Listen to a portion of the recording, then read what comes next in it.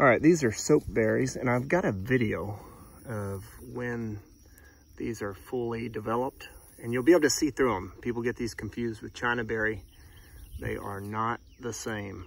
And soap berries have a lot of saponin in them. They're not edible, but you can use those to get saponin out to make soap, to um, also asphyxiate fish. So you can put it in a small stream or pond that doesn't have a lot of circulation and it'll suffocate the fish.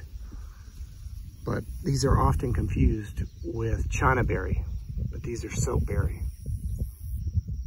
Different tree. Here's an example of the bark. And China berry bark will look way different than this. But that gives you a rough idea of the difference between the two. I'll try to find some China berry do a comparison.